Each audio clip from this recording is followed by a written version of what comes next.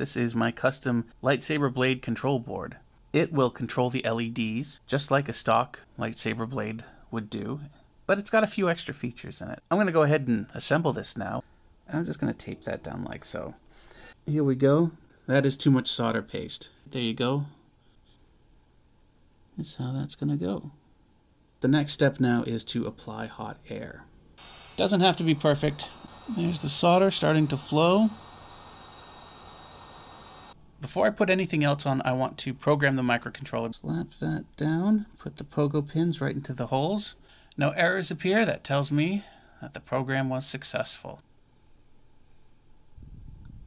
Good enough. Start putting components down. One microfarad.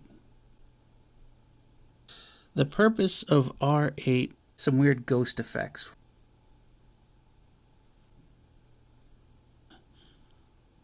That's a 3.3 volt voltage regulator. This is a 3.3 volt voltage regulator. Why have two 3.3 volt voltage regulators? Some weird ghost effects. Okay, hot air time. Now it's time to do the top half. I'm going to come in here and start throwing down some solder paste. I mean, they're so tiny though. The MOSFETs, there are three of them, each represent a color, red, green, and blue. So when one turns on, the corresponding color in your blade will turn on. And there are four segments in a blade. Each segment, power to each segment, is controlled by one of these transistors.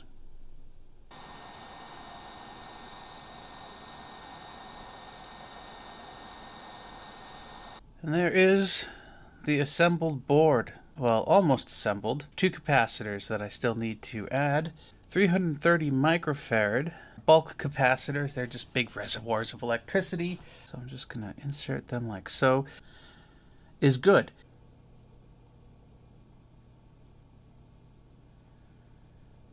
Installed. I just need to trim the leads now.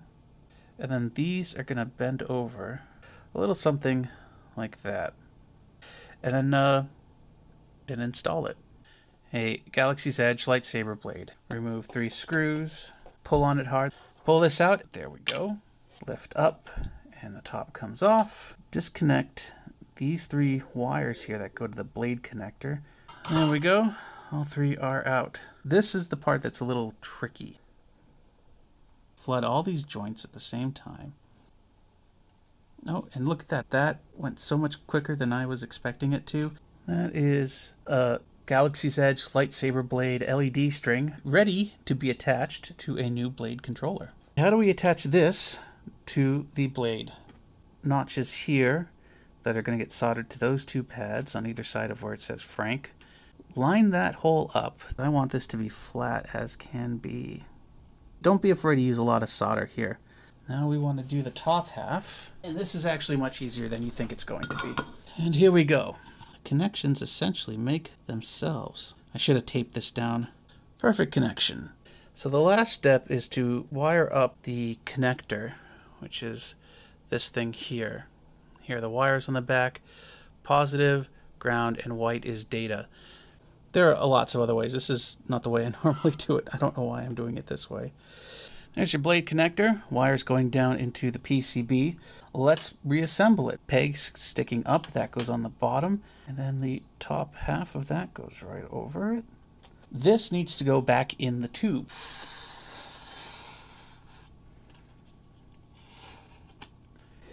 The little hole goes on the bottom. Now the connector has a notch there. That's going to go towards the bottom here. Make sure those wires are away from the screw holes on either side. Everything looking pretty good. Top guide, top half. Push together. I'm putting my finger into the, the slot here and torquing my finger a little bit. I've got a Savi's Workshop lightsaber hilt. Okay, it detected the blade. And it's turned on, and I'm getting white. Excellent. So the blade is working. Let's see if the programming is all there. Let's uh, change modes.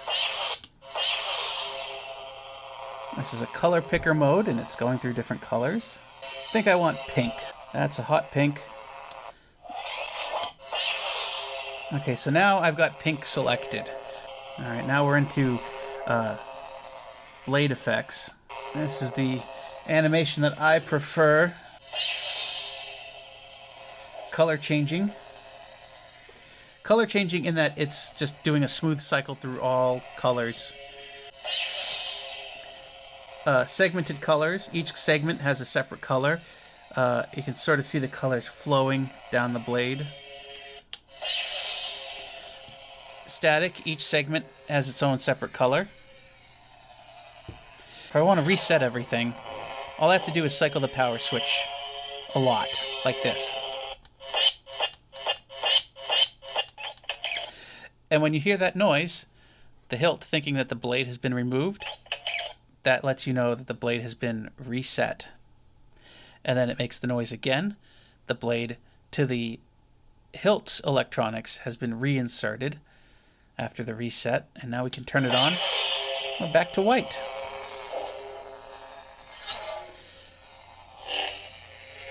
And that is how to make a custom lightsaber blade.